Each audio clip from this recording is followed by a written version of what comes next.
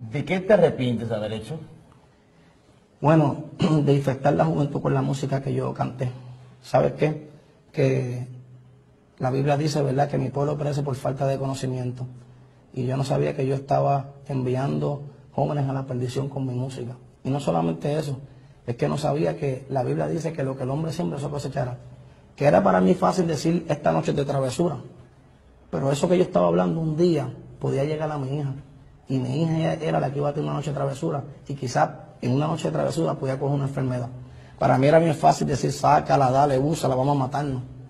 Pero para mí era doloroso cuando me mataba un amigo mío, un familiar mío. Yo no sabía que lo que yo estaba pronunciando por mi boca un día me iba a alcanzar. De eso me arrepiento.